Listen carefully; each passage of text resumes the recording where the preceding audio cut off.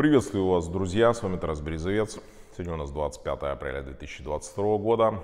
Сегодня поговорим с вами о том, как российские оккупанты готовят референдум о а, признании так называемой Херсонской Народной Республики. Это происходит прямо в данный момент, о том, как а, коллаборанты начали просто умирать как а, мухи на временно оккупированных территориях и о том, как президент Украины Владимир Зеленский заказал прямом смысле убийство, по крайней мере по версии Федеральной службы безопасности Российской Федерации, известного пропагандиста Владимира Соловьева. Но вначале, как всегда, начнем с подведения приятных сводок Генерального штаба Вооруженных сил Украины по российским военным потерям в Украине.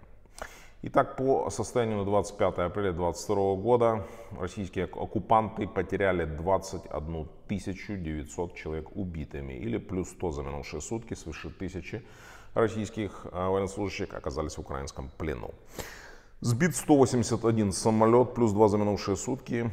Сбили сегодня Су-34 над Харьковщиной, это приятно. 154 вертолета уничтожено, 884 танка или плюс 11 за минувшие сутки. 2258 БМП, БРД различных типов или плюс 20 за сутки. 411 артиллерийских систем или плюс 3 добавилось.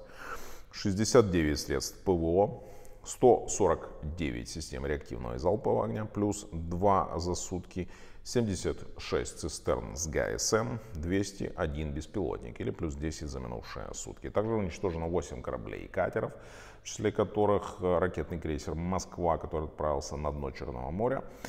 И также уничтожено 1566 различных типов колесной техники или плюс 9 за минувшие сутки.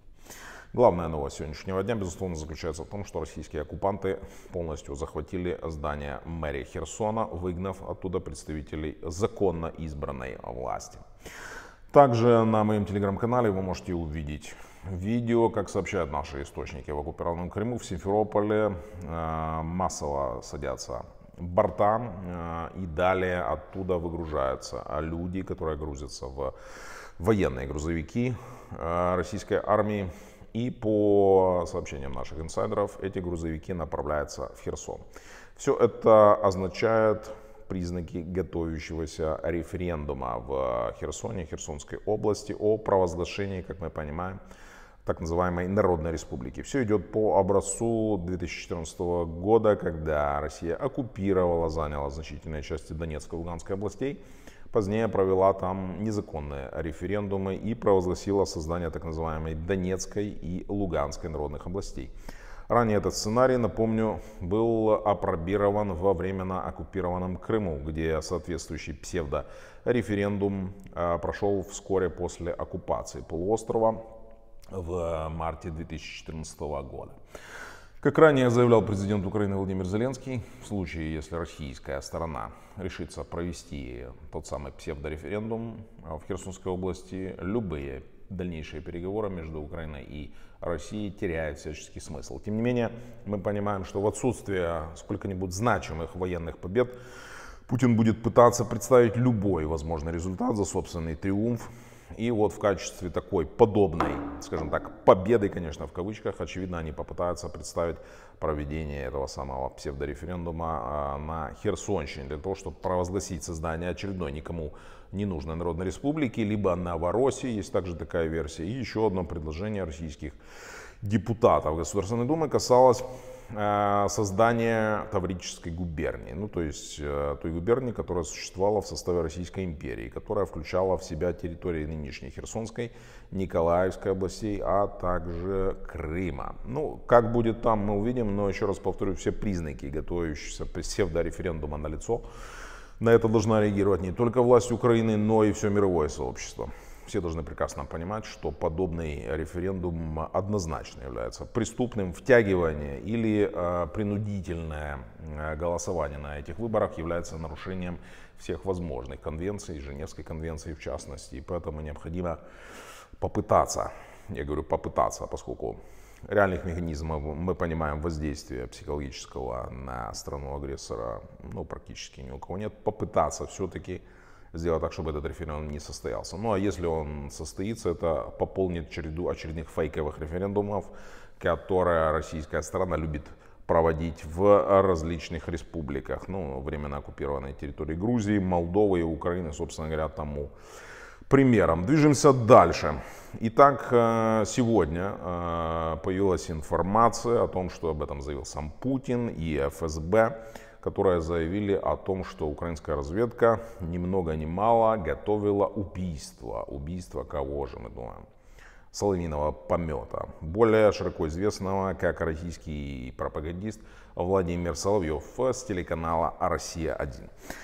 Об этом заявил сам сегодня Владимир Путин, а также российская карательная спецслужба Федеральная служба безопасности. И вот цитата. ФСБ совместно с СК, это Следственный комитет, задержали группу членов запрещенной в России неонацистской террористической организации, как же она называется? А называется она National Socialism White Power, или в переводе национал-социализм белая э, власть. Граждан России, планировавших по заданию службы безопасности Украины убийство, э, не смейтесь, общественного деятеля, известного журналиста Владимира Соловьева. Конец цитаты. Итак, что же утверждают эти мракобесы, они утверждают, э, по их версии, ну, э, мы же должны понимать, с кем мы имеем дело, и так они утверждают, что во время обыска у задержанных была изъята самодельная взрывчатка, 8 коктейлей Молотова, а зачем 8? То есть они как э, хотели э, бросать в него эти коктейли со всех сторон, при этом э, сатанински смеясь, мне интересно. 6 пистолетов Макарова, то есть сначала из 6 пистолетов Макарова предполагалось расстрелять Соловьева, а потом сжечь его восьмью коктейлями Молотова, как-то немножко странно выглядит, не кажется версия. Но идем дальше. Чтобы наверняка у них также был обрез охотничьего ружья, граната РГД-5, тысяча патронов различного калибра, то есть они э, собирались превратить, я так понимаю, Владимира Соловьева в фарш. Наркотики, ну это понятно, конечно, кто же идет э, без э, наркотиков на политическое убийство. Поддельные украинские паспорта с фотографиями членов группы националистической литературы и атрибутика. Ну, действительно, идти на убийство российского пропагандиста без националистической литературы, согласитесь, тоже как минимум а, странно. Ну и сообщается, что Главное следственное управление а, Следственного комитета РФ уже, естественно, возбудило оперативное уголовное дело. Сам Соловьев обвинил в подготовке убийства ни много ни мало президента Украины Владимира Зеленского. Он сказал, что Зеленский лично отдал приказ его убить. Э, выступил заказчиком этого и сказал, что если со мной что-то случится, знайте, это заказ Владимира Зеленского. Ну, служба безопасности Украины, естественно, уже ответила на все это, заявила о том, что э, в данном случае с интересом ознакомилась с очередным креативом ФСБ, которая героически задержала нацистов, которые планировали убийство Соловьева и э, заявили о том, что в данном случае э, обычный кремлевский пропагандист, российский аналог Геббельса обязательно будет отвечать за свои преступления на международных судах. И в СБУ также заявили, что никаких планов убийства Соловьева у них действительно нет.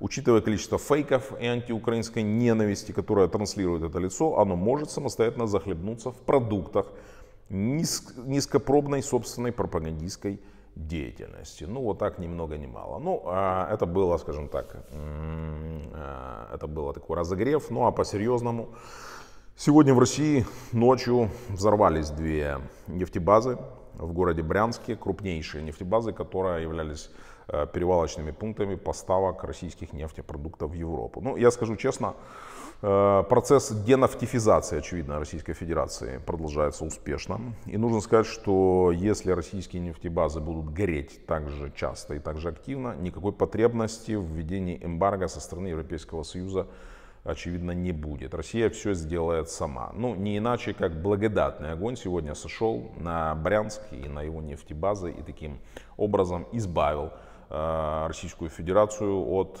э, ключевых, э, ключевых нефтебаз, которые э, являются отправными пунктами российских нефтепродуктов, как я уже сказал, в страны Европейского Союза. Еще из важного, в Приднестровье, в здании госбезопасности в Тирасполе прогремели взрывы. Ну, там пока много непонятного, значит, российская сторона пока еще никого не обвиняет. Ну, а из э, более колоритных, э, приятных новостей, то, что сегодня взорвалась, как об этом сообщили, в городе Кременной Луганской области.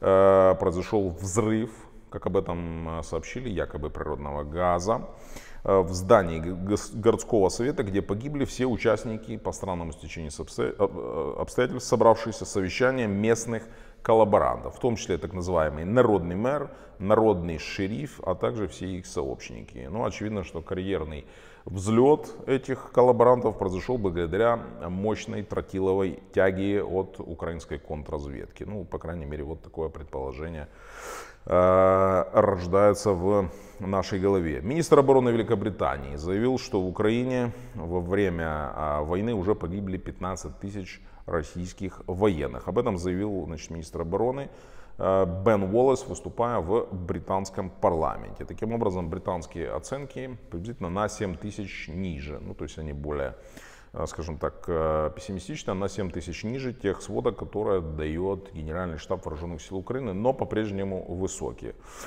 Ну и, как говорится, на завершение, от кармы не сбежишь. Бывший депутат Госдумы Российской Федерации Илья Пономарев сообщил о том, что солдат армии РФ из Крыма, которому звонила его супруга и обсуждала, что насилуя украинок нужно предохраняться, сегодня был взят в плен э, вооруженными силами Украины под Изюмом. Ну, как говорится, от кармы не сбежишь. Надеюсь, чтобы это, безусловно, оказалось правдой и встреча для солдата армии РФ оказалась бы незабываемой. Ну, самое важное, это, безусловно, итоги визита министра обороны а, США Остина Ллойда накануне и главы э, Госдепартамента США Антони Блинкина. По сути, секретный визит, э, о котором известно крайне мало, кроме того, что принято решение о выделении Украине дополнительных средств для закупки суперсовременных западных вооружений. Кстати, Христо Грозев сделал очередной Прогноз, э, известнейший журналист-расследователь заявил о том, что будущее этой войны может быть решено в течение ближайших двух недель. Свой прогноз он обосновал тем, что именно в течение этих двух недель в Украину наконец поступит новейшее западное вооружение, которому э, украинская армия использовать, которое обучается прямо в данный момент. И вот тогда может наступить реальный перелом в войне. В частности, Христо Грозев спрогнозировал, что в тех местах, где российские вооруженные силы сейчас ведут активное наступление, в частности на Донбассе и на юге уже через две недели может начаться обратный процесс, то есть контрнаступление. Таким образом, России сломают ее армии, сломают шею в буквальном смысле. Ну, а еще прогноз то, что Путин будет пытаться, естественно, захватить весь юг Украины, и в первую очередь Одессу, и попытается он это сделать до 9 мая. Ну, достаточно скептичные прогнозы относительно успешности этих путин, путинских намерений высказывают ведущие западные аналитики. Я думаю, мы можем здесь целиком довериться. Возможность того, что это наступление на юге, в частности на Николаев, окажется успешным, я, скажем так, сомнение а, является абсолютно обоснованными. Одним словом, в течение двух, ближайших двух недель мы узнаем, оправдаются ли все эти прогнозы, и то, что они будут очень напряженными, никаких сомнений, естественно, не вызывает. Друзья, спасибо вам за просмотр этого видео. Обязательно подписывайтесь на мой канал. Совсем немного нам остается до полумиллионной отметки. Благодаря нашим совместным усилиям, активности, уверен, мы сможем этой цифры достичь. Подписывайтесь также на все мои соцсети, линки на которые найдете под этим видео. И спасибо еще раз за просмотр этого видео. До завтра. С вами был Тарас Близовец. Пока-пока.